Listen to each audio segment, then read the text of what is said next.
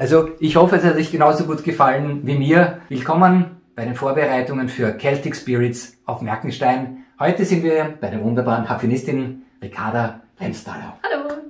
Wie bist du zur Harfe gekommen? Warum hast du überhaupt Harfe spielen gelernt? Das ist eine lustige Geschichte. Ich war vier Jahre alt und habe einen Hafenspieler weiß angezogen mit einer goldenen Harfe spielen gesehen und war so verzaubert davon, dass ich unbedingt selber anfangen wollte, Harfe zu spielen. Und jetzt bist du selber der Engel mit der Harfe. Genau. und mit welcher Musik hast du begonnen? War das immer schon so keltisch-irisch? Nein, gar nicht. Ähm, ich habe begonnen mit russischer Volksmusik, weil meine Hafenlehrerin damals eine Russin war. Hat dann auch österreichische Volksmusik gespielt, eben mit meiner Volksharfe und bin jetzt durch Zufall zur keltischen Musik gestolpert. Ah, okay. Also vom Wodka zum Obstler zum Whisky. Genau.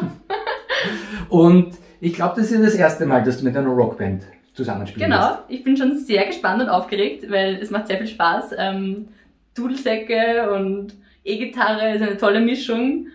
Und ja, ich freue mich schon.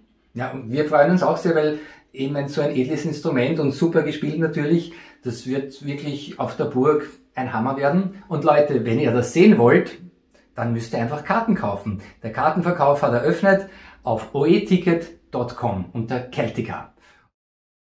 Ich hoffe, wir sehen uns bei Celtic Spirits auf Merkenstein mit der wunderbaren Ricarda Lenzhaller.